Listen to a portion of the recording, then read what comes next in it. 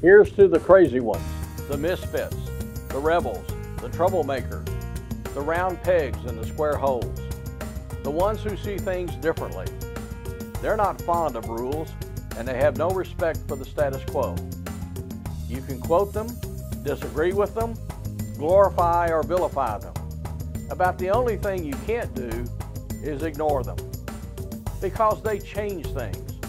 They invent, they imagine, they heal, they explore, they create, they inspire, they push the human race forward.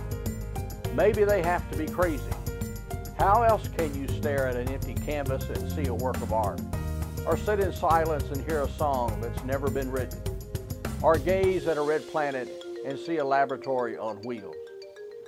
We provide tools for these kinds of people. While some see them as the crazy ones, we see genius. Because the people who are crazy enough to think they can change the world are the ones who do.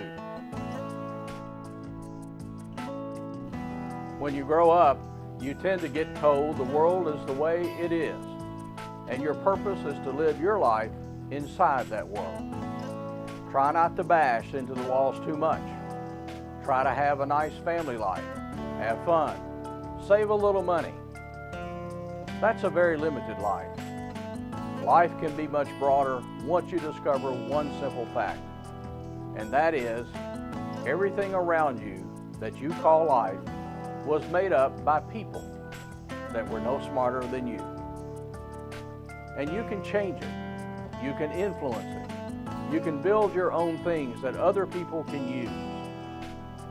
The minute that you understand that you can poke life, push in, and know something will pop out the other side, it inspires you to change it, mold it. That's maybe the most important thing is to shake off this erroneous notion that life is there and you're just going to live in it versus embrace it, change it, improve it, make your mark upon it. Once you learn that, you'll never be the same again.